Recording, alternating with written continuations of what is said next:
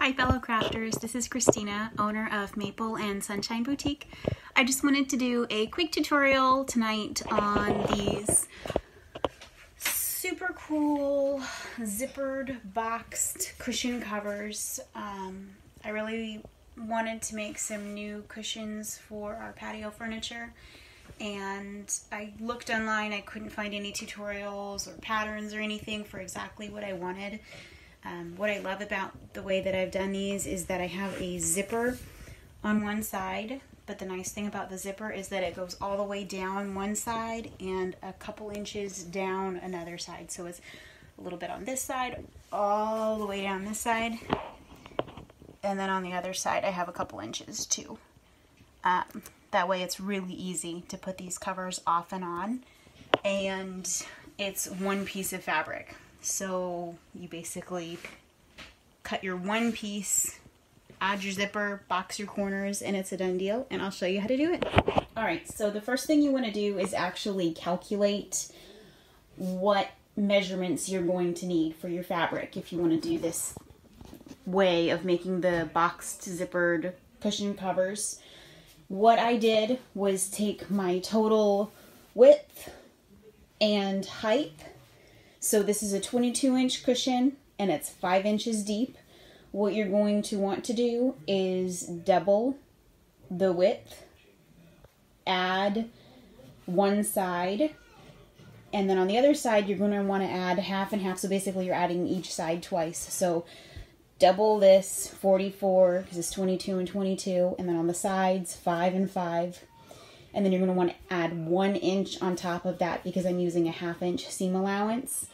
And then what I've done in addition you can use just regular foam batting. I just happen to have this quilting batting laying around. It was already here. Take some glue spray glue adhesive and spray a light mist on top of it and just adhere your batting to the top. It's going to give it just a fuller, smoother overall look. As you can see, it doesn't have to be perfect. You're not going to see the edges here unless you're using a really thin fabric for your cushion cover or a really thick batting that's going to stand out a lot.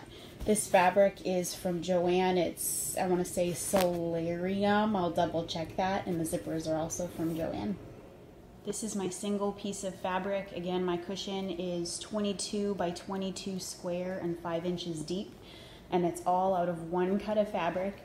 So this way, width-wise, it is 22 plus the sides, and you're going halfway on each side. So 22 plus 5 inches deep, plus another inch for your seam allowance, because I'm doing a half inch seam allowance so I have a total of 28 inches this way.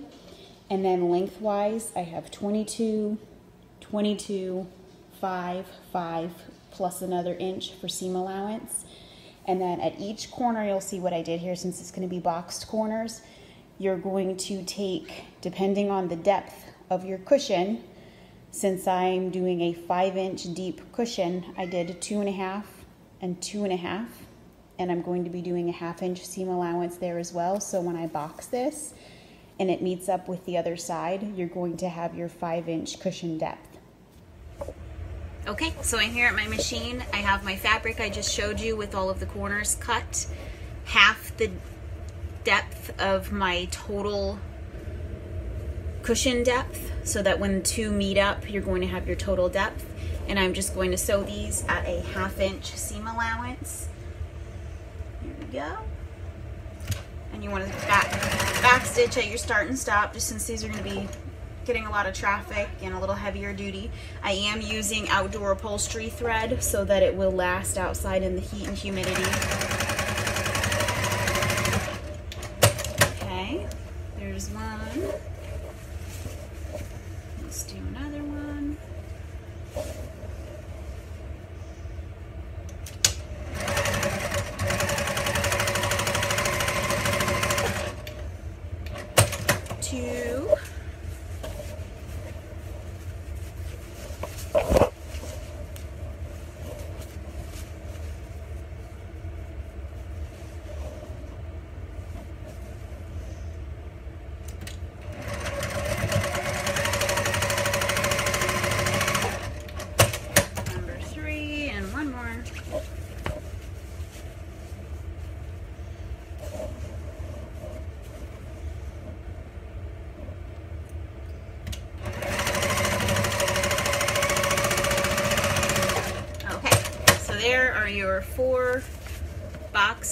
Corners, which is technically going to make two of your corners. We'll do the other two later, but you can see how nice that is. It's a nice square, square corner, and that will meet up, and I'll show you how to do the zipper at this point.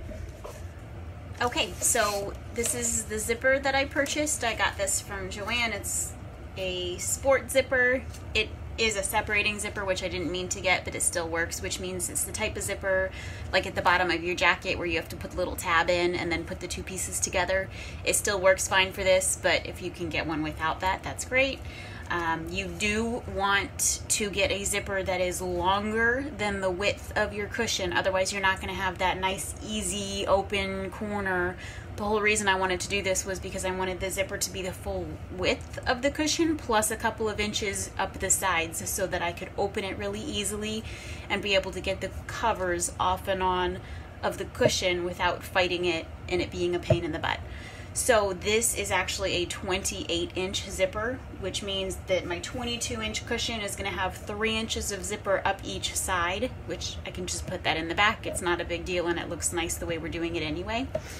Um, what you want to do is get the short end where you have two of your box corners, so the shortest length with your two corners that you just made. We are going to center the zipper face down.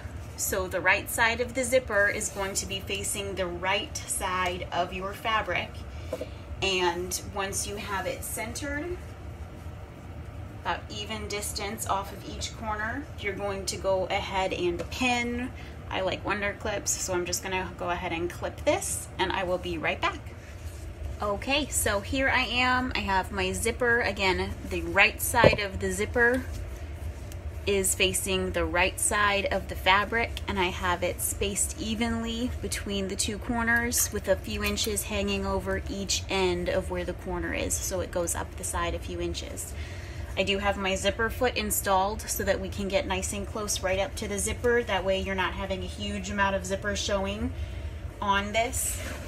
And what I'm gonna do is unzip my zipper so I can get it started without that big zipper pull in the way.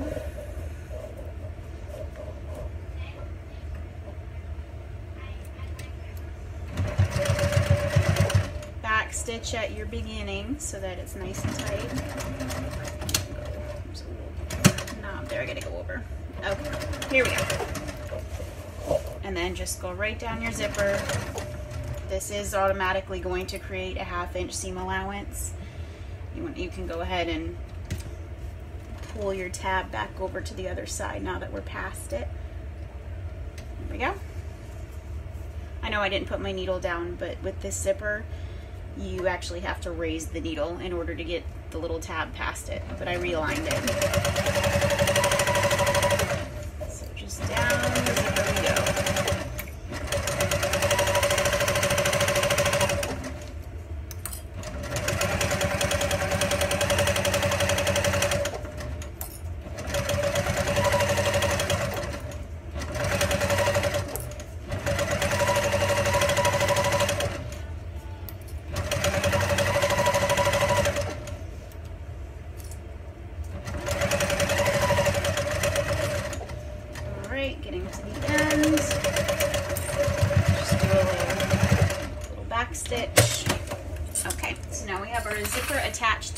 One side of the cushion cover. What we're going to do is take the other short side as if you're folding it in half. Let me see if I can get a little better picture here. You have your corner and then the full length and then the other corner on the short end you're going to put it together go. So you're going to put your short side to your short side, right sides together, making sure that you're getting these corners aligned where the seam is, where you did your corner box. You're going to make sure that those corners go right together, push them up so that your seams meet exactly, and then you're going to clip you're going to clip your corner to the other side of the zipper so that your zipper, you now have this once you open it up, the right side of your zipper with the right side of your fabric that you just attached. Taking the other corner, you put the right side of this other side to the right side of the one you just sewed with the seam aligned and clip it to your zipper, the other side of the zipper. So the right side of the fabric is facing the right side of the zipper. I'll clip that and I'll be right back. Okay, I'm back. I've got it clipped and at this point you basically have an inside out cushion cover with the side seams open. So this is going to be where the zipper is with the back where we've got it clipped. And I'm going to sew up where the zipper is. On the other side, just make sure the side that we sewed first is pulled out of the way. So you're pulling it so it's not going to get caught on the other side of the zipper while you're sewing here.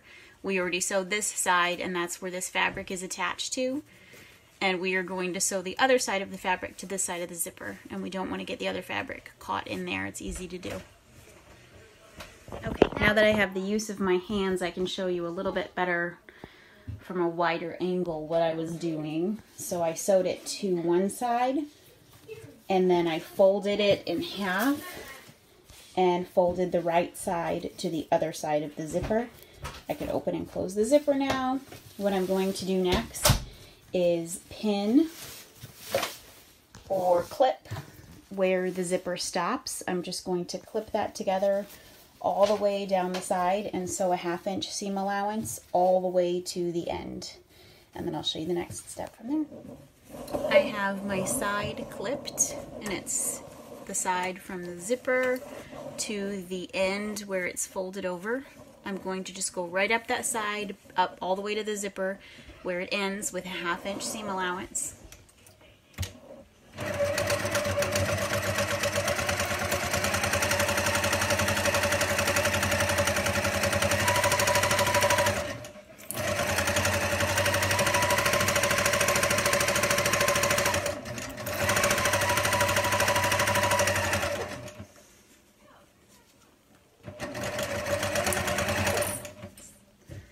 as close as I can to the end of the zipper, but it's pretty bulky. So I'll get as close as I can, back stitch, take it out of the machine, and then what I'm going to do is just go back in here, get as close as I can, and just do a stitch this way, and I'll just do half half an inch in to the edge, and I'll just go back and forth a few times.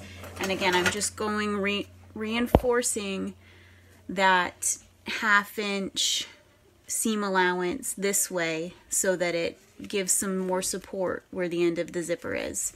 Okay, so now I have a completely sewn square. It's a big enclosed box basically and one end with the zipper has boxed corners.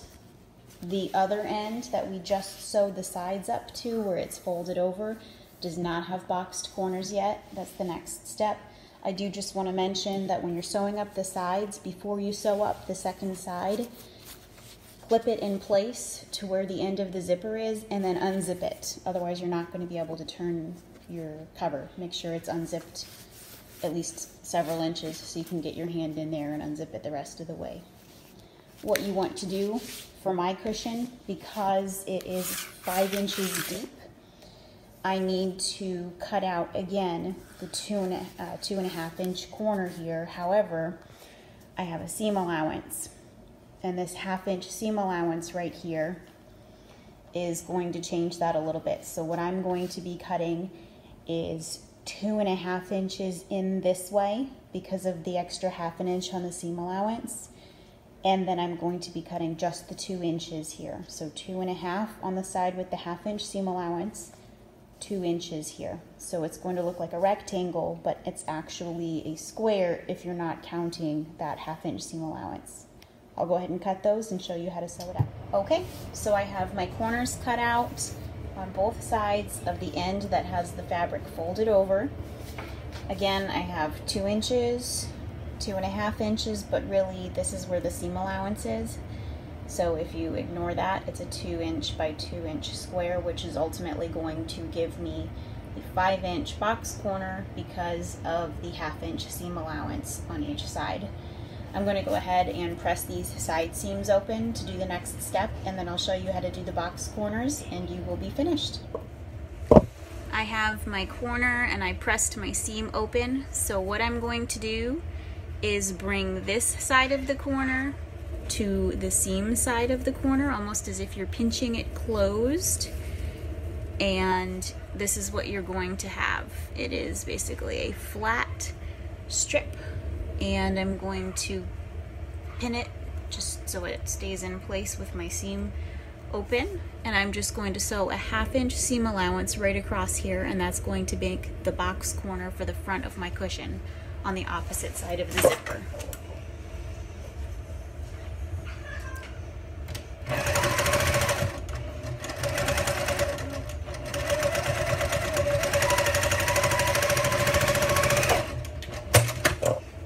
side done.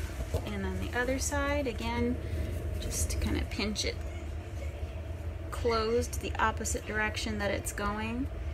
It will automatically create your little box. Yay. And here we go. Um, let's see. Half inch seam allowance. Forward, back, forward. In the home stretch really because I have several more of these to make, but you're in the home stretch if you're only making one. All right, there we go. Um, this fabric kind of sheds, I don't know if you can see, it's kind of fraying a little bit on the edges. If you have a serger and you want to serge across the ends to cut it down to the quarter inch serger width and tie up some of those loose ends, you can. Honestly, for me, these aren't going to be put on and taken off and put on and taken off. They don't get used very much. I live in Florida, it's too hot to sit outside for any extended period of time, unfortunately. So they're only going to get used very minimally. They're just going to sit there and look pretty. But if you think you're going to be taking them off and on, washing them regularly, it's probably better to finish off the edges so you have as little fraying as possible. Let me flip this right side out and we'll show you the finished product. Yay, we did it. Okay, so the beauty of this cover, the reason I wanted to do it this way, A, I used one piece of fabric and it just makes life easier. And B, I had to have a zipper that extends past the width because I hate struggling with these things to put them off and on. The easiest way to put them off and on is to turn it inside out, just like you had it when you finished. Put your hands inside of it right down to the corners and put it on the end of your cushion. Match the corners up with where your corners are on your cushion just to get it started. And you can just flip the edges up. The beauty of that huge wide zipper is that you can just push it right over there. It goes on super easy. As you can see, I'm not cussing, so it's not that frustrating to do. Tuck the end over, tuck the other end over, and it's as easy as that. If you want, you can top stitch on your zipper on the outside. I did on one of mine. I haven't on the others. I thought it was just kind of overkill and unnecessary, again, just because I'm not going to be taking these off and on all the time. Um, but at this point, like I said, I accidentally got one of those zippers that you have to stick the tab in, but not a problem. Zip it up, all the way down, and there you have it. It's beautiful. It fits perfectly. I can put it out there and no one will know I made it. Well, everyone will know I made it, but people will think it was bought from a store because it looks that good. All right, hope everyone has a good night.